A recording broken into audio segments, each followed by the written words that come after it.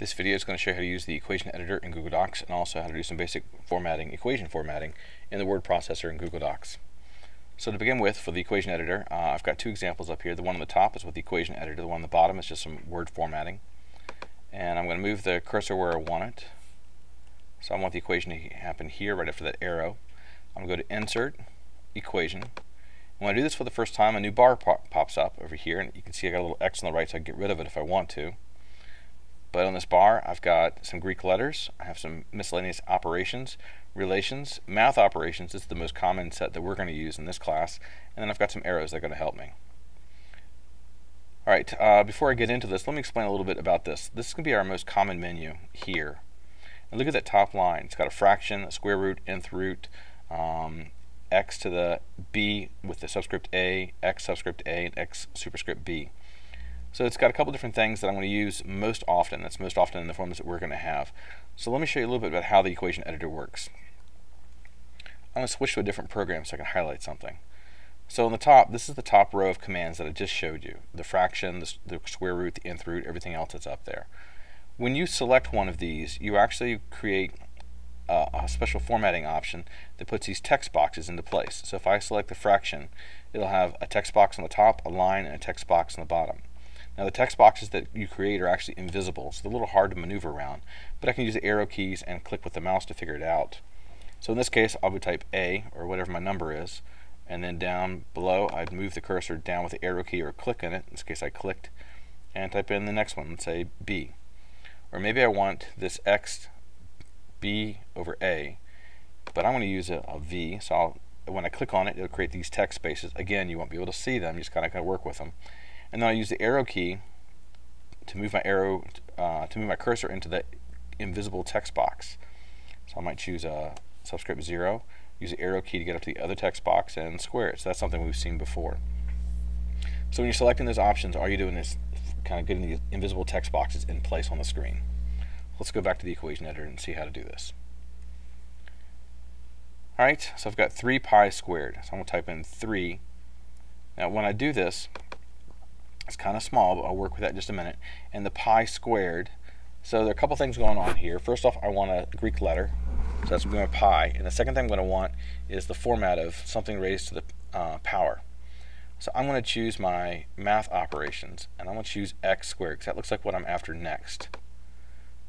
Then I'll choose the pi symbol. And I'm going to use the arrow on my keyboard to move the cursor over. And when I move it over, it actually moves up into the next text box type the letter 2. Then I'm going to move the cursor to the right again, and then I'll pull it out of the text box, and then I can type an equal sign. So that's great. Um, notice I had to think ahead. I've got pi squared. I remember there was a re math relationship that was x to the b, so that's what I pulled down so it looks nice and tight, the way you want an equation to look like. If you do it as an afterthought, you'll get some gaps in there that you may not want. Now, this is all kind of small, and it's not red, so what I'm going to do is I'm going to highlight everything. So I'm going to use my mouse to highlight it all and then I'm going to go up to the text and I'm going to make it 24 uh, point size and the color. I'll change it to red to match what I have down here. There we go. Now I'm going to click on the cursor right to the right of the equal sign which looks like it's outside of the invisible box but that's okay. Now I need a format that's look like a fraction. I remember under math operations there was a fraction a over b. And its the cursor's already in the top so I'll start typing. 5 Greek symbol mu, and G. I'm going to use the cursor, the arrow keys. I'm going to go uh, back to the left and then down one. And that didn't work out very well. I'm going to use the mouse to click in that spot. There we go. So now I'm on the denominator of the fraction. I'll type in 7.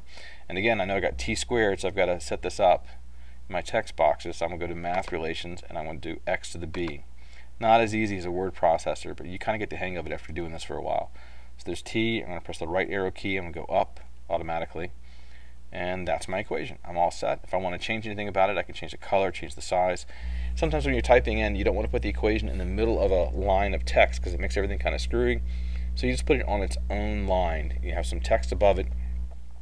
So you, up here, you might have some text and then just put the equation on its own line and then you'll continue the text later on. Ooh, that got kind of big. But you'll continue the text uh, later on. So that's what it might look like in, in your text. The equation may not be this big, but I made it big like this because if I keep it the normal size, let's see what it looks like when it's a 11 point font. At 11 point font, it can be kind of hard to read. Now I've got the screen magnified at this point, so it's a little bit easier, but still, you want to make it big enough so you can read everything that's there.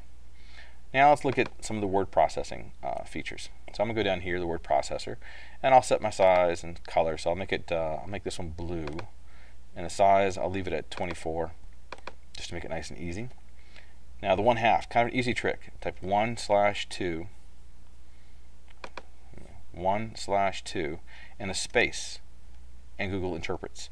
And then I'll go to the left with the arrow keys and type MV, and then superscript. I'll go to Format and Superscript and then I'll use the, let's see, I'll use superscript again, turn it off, a space equals space, another one half, one slash two space, then I'll use the left arrow key to go back, I'll type M, I think it hit a little bit, parentheses, V, I want a subscript, so format, subscript, I'm to use a letter, little letter O there to make it look like a zero, and then format and turn off the subscript, and then parentheses. Now I need a superscript, so I'll turn on superscript, and then a 2, and I'll turn off superscript, superscript off, space plus space mgh.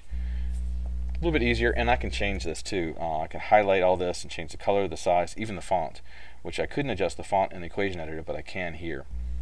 So it gives me a little more control, but it has some limitations. Fractions are, are really difficult to work with, but everything else works just fine.